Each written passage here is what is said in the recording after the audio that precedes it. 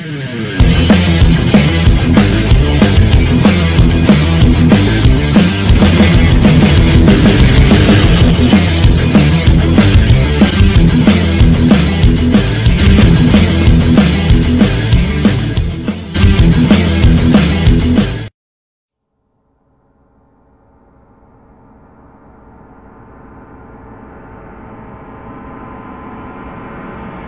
December 7th marks the 50 year anniversary of the Blue Marble photograph. The crew of NASA's Apollo 17 spacecraft, the last manned mission to the moon, took a photograph of Earth and changed the way we visualized our planet forever.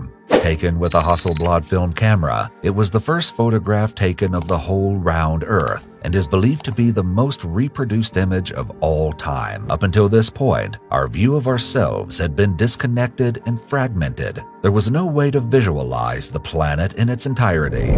The Apollo 17 crew were on their way to the moon when the photograph was captured at 29,000 kilometers, 18,000 miles from the Earth. It quickly became a symbol of harmony and unity.